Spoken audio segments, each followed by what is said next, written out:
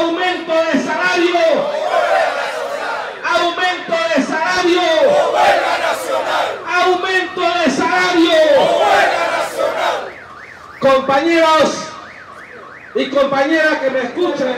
La Junta Directiva facultada por la Asamblea General Máxima Autoridad de Suntra viene hoy a presentar el pliego de peticiones contra la Cámara Panameña de la Construcción con tentivo del nuevo convenio colectivo que estamos buscando. Este convenio estamos exigiendo aumento de salario por hora y por año, como siempre ha sido desde el año 74. Estamos pidiendo la unificación de los salarios de de la construcción a nivel nacional. Estamos de igual manera proponiendo separar los salarios de las megas obras, donde se debe ganar más de las obras normales. Estamos exigiendo indemnización para el obrero y su familia cuando queda incapacitado por largo tiempo y que sus ingresos se ven mermados, su familia no es atendida por nadie. Estamos planteando mayor seguridad en las obras de construcción y eso nos trae al día de hoy aquí al Ministerio a presentar este pliego. El Ministerio una vez lo recibe hoy, tiene dos días para darle traslado a la empresa, CAPAP.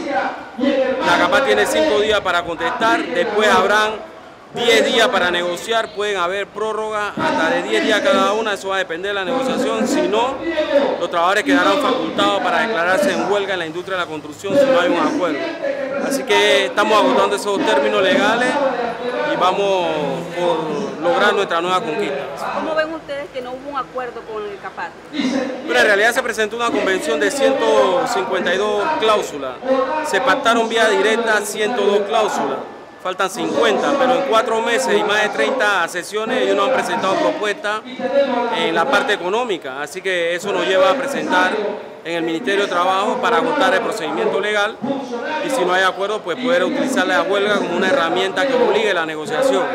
Así que digamos que las cosas van caminando hasta este momento, pero tiene que terminarse, tiene que cerrarse la negociación y los trabajadores deben conseguir sus nuevas condiciones de trabajo, sus nuevos salarios y su nueva conquista. La ley establece que el Ministerio de Trabajo en estos conflictos debe constituirse el mediador de las partes y es lo que aspiramos a que haga.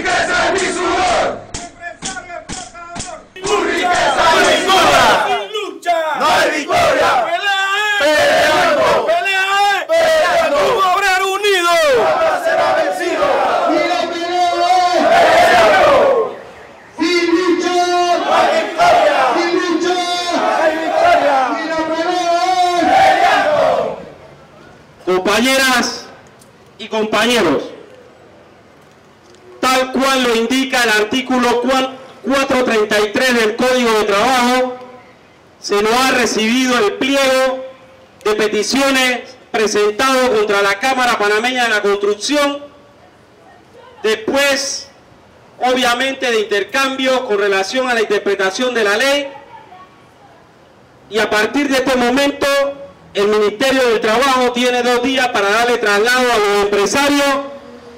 Una vez los empresarios reciban esa notificación, tienen cinco días para contestar y después hay diez días para negociar.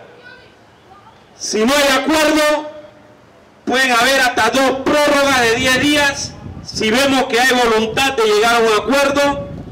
De lo contrario, los trabajadores de la construcción estarán facultados por ley para declararse en huelga en demanda de una convención justa para los próximos cuatro años. Hemos cumplido hoy con la meta que nos propusimos, venir al ministerio y llevarnos nuestra copia de la convención colectiva que tiene aquí el secretario de Defensa en sus manos, el documento sellado y firmado con el acta que voy a leer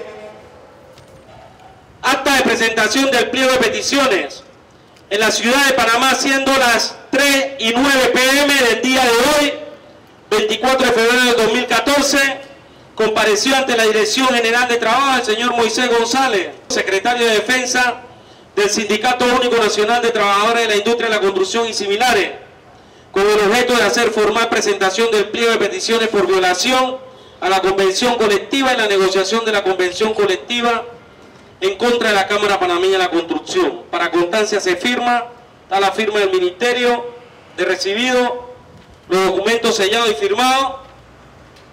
Y sin lucha, la pelea es ¡Viva la unidad de los trabajadores!